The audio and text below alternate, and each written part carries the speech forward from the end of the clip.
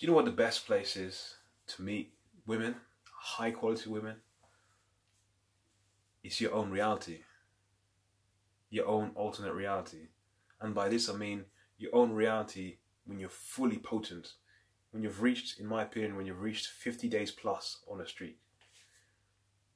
That's when they just pop out of everywhere. They just, you're going down to the, your grocery shopping, you go down to your normal bar that you always frequent, and all of a sudden there's beautiful girls here everywhere.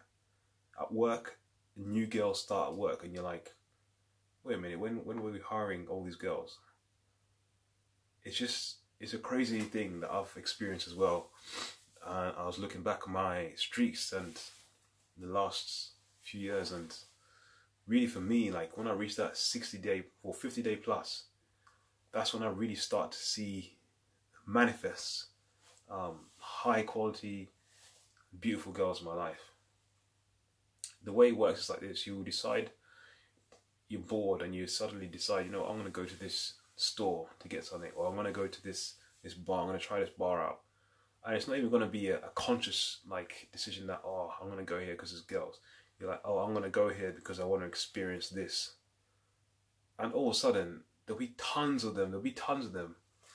This is, I think, the reason why a lot of people who on long streaks to start to like get girlfriends for the first time in their lives. Some of them break their virginity some of them meet their long term partners this way.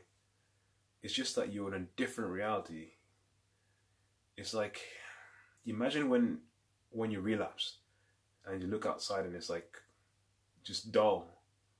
It's the same thing. The people you meet, the people you vibe, the people you attract into your life are just the same, dull. People are just low quality. There's no girls at all. Like for me, man, the worst thing about relapsing is that whenever I go whenever I go to a bar after relapsing, it's just full of guys. The ratios are terrible. Like the the first like two weeks after relapse, I go to the bar and it's just like tons of guys. Like it's it's like three to one ratio. It's terrible. But when I go on a long streak, whenever I go to a bar and it's just something I just do on a whim, it's full of girls and I'm like the only guy there who's like considered masculine and handsome. So all the girls flock towards me. That's what I love. I love going on long streaks, but it's so hard to get that to get that motivation to tell myself do not go back to PMO because you're gonna lose your reality. You're gonna lose this alternate reality. You're gonna go back into the dull, boring reality. Let me tell you something, guys. I've never been, I've never gone longer than 87 days. The longest I've ever been. So in 2016, I went 87 days. In that day, in that time, um, what happened? I went on a date for the first time, like a proper date. Um, I met some random girls at jazz festival. Um, I I think, and sometime after that, also because you accumulate a lot of sexual energy. Um, when I'd start, I'd relapse and broke it, and I started again. And I'd gone on a thirty day streak or something like that. Um, I had my first Tinder date. I a lot of, I broke a lot of personal records with dating. But um, and then the same thing last year, uh, 2018. Um, I remember when I reached 87 days again, which was the first time I've done it in like a year and a bit. But um, I remember that time I was going out to places, um, random places like um, this this bar, and I went, I went to London, which is like a like a top notch bar, like by the river, uh, where a lot of people from Made in Chelsea go and I just saw like beautiful girls there. I got a number from this model. We exchanged numbers, and then this girl held my hand, and I messed it up. But just basically, it's like a it's like a magic reality. It's like it's like life doesn't open a door for, of girls to you until you reach those longer streaks. Or it's that's that's one thing that motivates me. Um, I don't care what people say that. Oh, you shouldn't do NoFap for girls. I'll I'll do NoFap for girls. Hell yeah. It's like everything you do when you're on NoFap like the sexual energy is underlying everything, like your your self improvement, your exercise, everything. It's all about sex. At the end of the day, so it doesn't matter that I, you know you're doing it for the girls because ultimately we all are. We're all doing it to attract a mate biologically. And yeah, it's beautiful, man, when you go on that long streak. And for me, like, yeah, the last time I went 87 days, when was that? That was April, might have been April 2018. Man,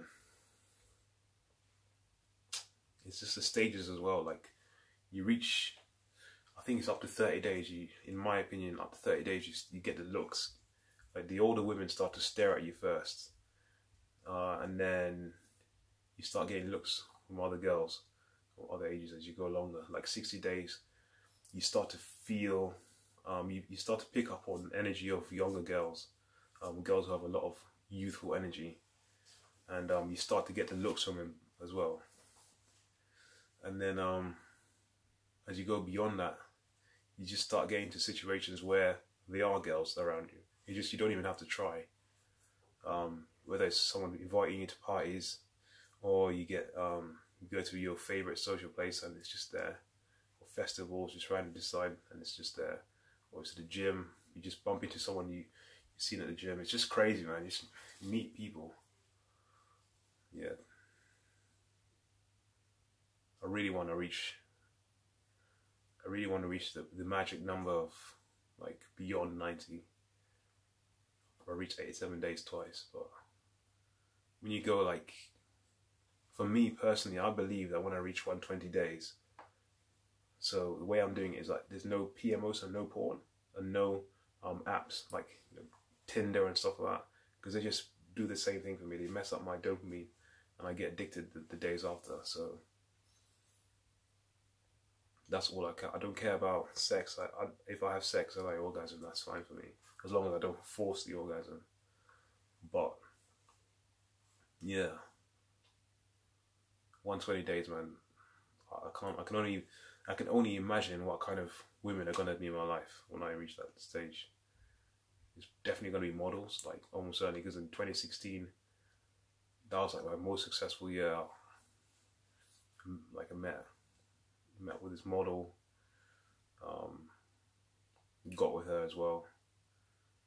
Um, and then I dated, not dated, but you know, I saw a few other girls, and yeah. So yeah, I don't know, man. I'll see how it goes. I'll see how it goes. But yeah, the best place to meet girls is not necessarily at the coffee shop, the gym, at the bar. It's in your own reality. When your sexual energy is like really potent at a long streak, then it just appear in your reality. Peace.